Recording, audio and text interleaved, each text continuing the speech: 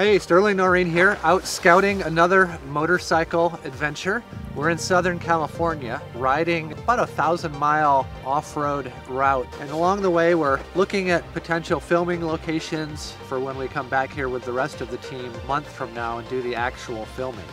It's really important that we get out in the field and see the terrain, go through the little towns so that when we come back here with the team, we kind of have a, a clue about what the area looks like and what the challenges are and what the highlights are for filming. We're also shooting a lot of B-roll along the way, trying to capture some of the scenic elements of this journey that we know from experience we won't necessarily have time when the rest of the group is with us to film some of those elements.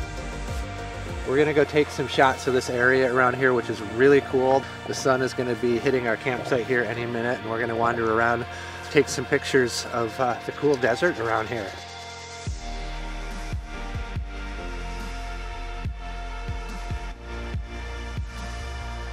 About to start a time lapse. You get the moon going down here and the sun rising on these uh, hills over here.